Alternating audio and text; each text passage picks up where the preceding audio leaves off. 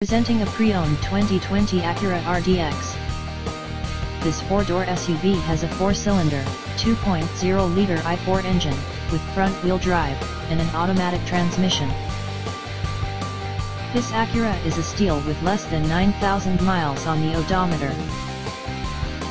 Estimated fuel economy for this vehicle is 22 miles per gallon in the city, and 28 miles per gallon on the highway. This vehicle is in excellent overall condition.